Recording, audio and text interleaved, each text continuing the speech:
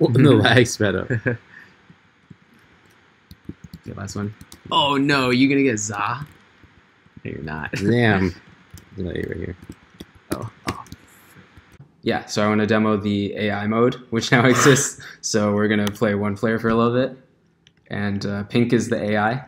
Right now, they just make random movements. Now we're gonna show off two-player mode with new added UI enhancements. So you can see the letters have little things around them, Shit. and uh, when you submit, it tells you how many points it was worth. Yeah, actually, the colors of the points changes based on how good it is. We also organized the UI a little bit, so my letters are always on the left. Orc is not a word, not with a K. Orb. Yeah, 15 points. I don't think so. I lost all my points. Oh, what? You ran out of uh, ink right before you. Uh, No, I turned it off. I shouldn't have turned it off. Wouldn't be cool if it was ink. So here um, is a basic AI. All it does is try to not hit the walls. Other than that, it's doing a random movement every 0.3 seconds. So it doesn't really know what object's picking up. If I am able to lay some walls down, I can uh, kill it pretty easily. So let me just pick a word here and then wall it in right here. Oh, okay. And then um, this is the two player. I forgot I was on the right. Your coffee maker. It's making a funny noise. right, so you can see uh, dash animations are different.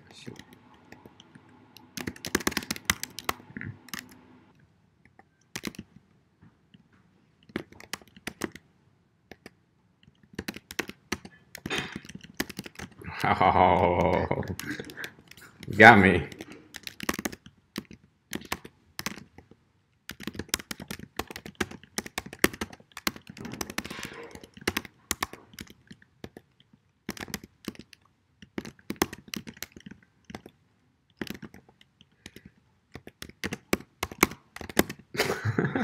Where's your a lot of walls echoing?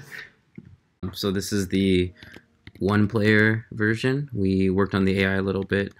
The desired behavior in this game is a little bit complex. You, you want to get the tiles and you, you want to avoid uh, getting hit by the walls. I took inspiration from this architecture that's used in self-driving cars a decent amount called uh, DAMN or DAM, Distributed Architecture for Mobile Navigation. And wow, nice. And uh, I think you got them. So the idea with DAMN is you have a you submit a bunch of options, and each behavior module will vote for which options it prefers. So in our case, at any point in time, you can basically uh, turn, rotate clockwise or counterclockwise, or keep going straight. And uh, each of these modules gives a score to these ones. Then you have an arbiter makes the final call on like these all these modules want these different votes.